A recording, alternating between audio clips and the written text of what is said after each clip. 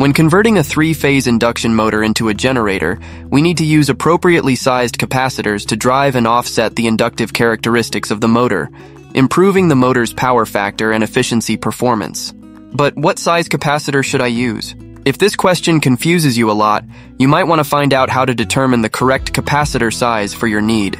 In this tutorial, we will explain what capacitor size implies and provide you with all necessary formulas and important considerations you would need to figure it out yourself.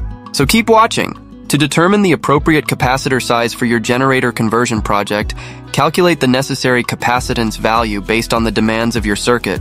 For a capacitor, the most basic rating is its capacitance. It specifies how much charge a capacitor can store when a voltage is applied across it.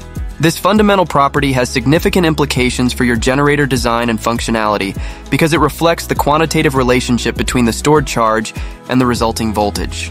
Calculations based on the following parameters will guide you in selecting the right capacitor size. You need to consider the motor's power rating, the voltage applied to the motor, motor full load current, desired generator speed, motor power factor, as well as several other factors. You should consider the motor's power rating when sizing capacitors, because the required capacitance directly relates to the motor's horsepower, meaning a larger motor will need a larger capacitor to achieve efficient operation.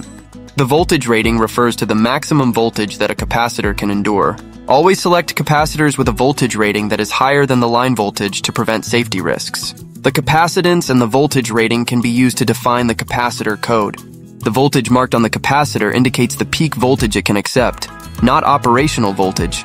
The next important consideration is the motor's power factor. Power factor represents the ratio between active power and apparent power.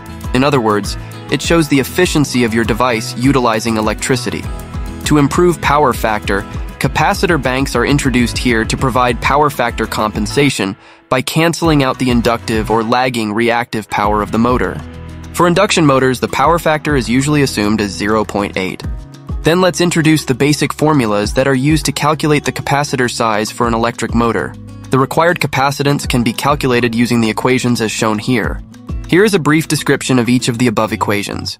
First, you need to calculate the apparent power based on the input values of the motor's horsepower, voltage, and power factor. Next, determine the reactive power by multiplying the apparent power by the sine of the arc cosine of the power factor.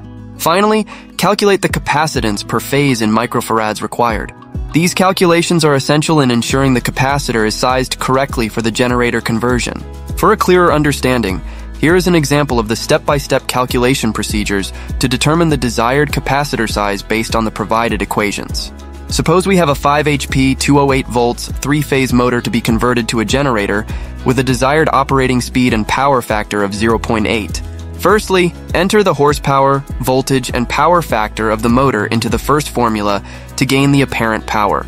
The result is 22.5 kVA. Secondly, figure out the reactive power by multiplying the calculated apparent power by the sine of the arc cosine of the power factor 0.8, which is 0.6. The reactive power is calculated as 15.7 kVAR. Lastly, assuming the AC line frequency is 60 Hz, multiply 15.7 kVAR by 10 to the power of 6, and then divide the result by the product of 2 pi 60, representing the line frequency, and 208 squared. The result, approximately 23.5 microfarads, signifies the capacitance needed for your electric motor. Pay attention here. The resulting microfarad should match the size of each capacitor, but the total capacitance per phase is three times the individual capacitor value. As in our three-phase generator system, the capacitor bank is connected in parallel in a star scheme, and that is so much about the calculation part. For how capacitors indicate all these parameters, including the capacitance, Check out this video guide to capacitor coding system published earlier on ATO channel.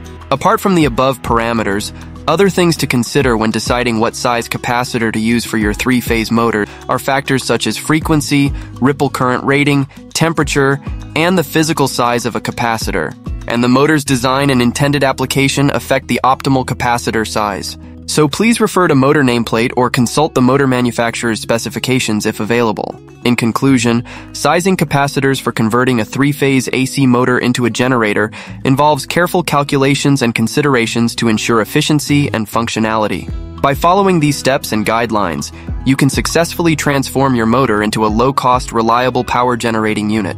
As an industry-leading electronics provider, ATO offers diverse products to help optimize power, automation, and energy needs for a wide variety of market applications. If you're looking to learn more about our innovative solutions, go ahead and visit our website to talk to our team of experts online or click the links below the video to access our extensive portfolio. Thank you for watching. Stay tuned for more insightful content on electrical engineering and DIY projects. Wishing you success in your generator conversion endeavors. We'll see you in the next video.